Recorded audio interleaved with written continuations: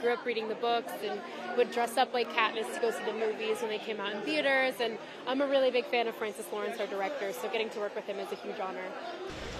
Hi, Francis.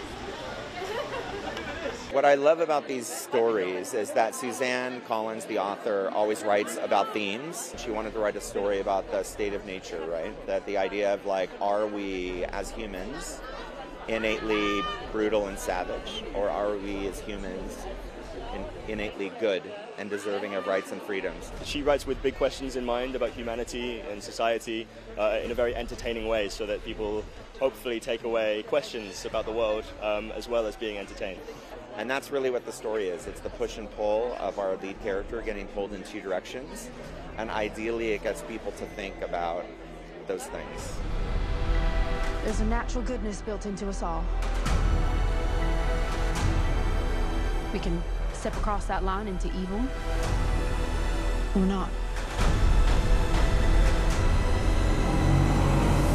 I think my favorite dynamic between them, and I guess you consider it, you could consider it a similarity and a difference, is that Lucy Gray is a performer forced to fight, while Katniss is a fighter forced to perform.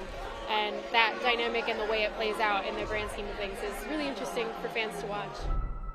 You hear that, boy? It's the sound of snow falling.